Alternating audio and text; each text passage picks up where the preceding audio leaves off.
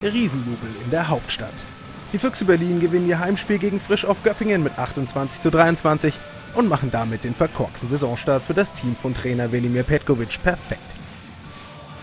In der Anfangsphase kann sich jedoch keines der beiden Teams einen ernsthaften Vorsprung herauswerfen. Frisch auf gibt das Tempo vor, Felix Lobedank wird nur schwach attackiert und bringt die Gäste nach gut 12 Minuten mit zwei Treffern in Front. Danach erstmal die Hausherren am Drücker. Bei Göppingen schleichen sich Fehler ein und Konstantin Igropulo mit sechs Toren treffsicherster Werfer krönt den Vier-Tore-Lauf der Berliner mit der 8:6 Führung. Gästetrainer Petkovic sichtlich unzufrieden. Erste Auszeit für Göppingen, klare Worte des Bosniers an seine Mannschaft. In der Folge kommt sein Team wieder besser ins Spiel.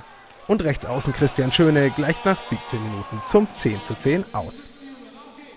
Bei Berlin jetzt Spielmacher Bartolomej Jaschka auf dem Feld. Der setzt den 19-jährigen Youngster Fabian Wiede in Szene. Die Füchse zur Halbzeit mit einem Treffer vorne. Nach der Pause legen die Füchse einen Gang zu.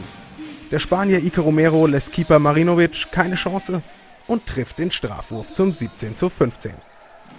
Bei den Gästen die Fehlerquote einfach zu hoch.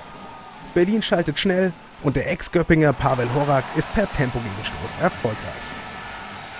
Frisch auf kommt nicht mehr ran. Evgeny Pevnov vergangene Saison noch in Diensten von Berlin, kann mit der Schlusssirene noch einmal verkürzen, doch der verdiente 28 zu 23 Erfolg ist den Hauptstädtern nicht mehr zu nehmen.